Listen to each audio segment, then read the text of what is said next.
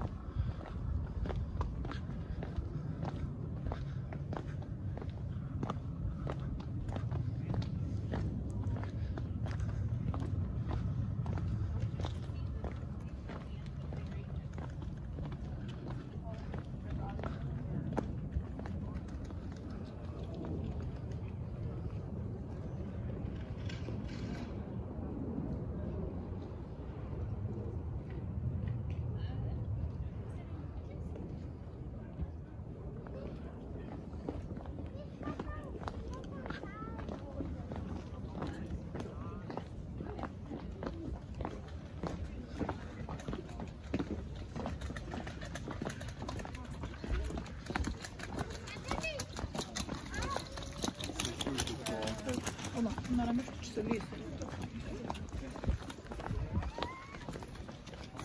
then we give it to, uh,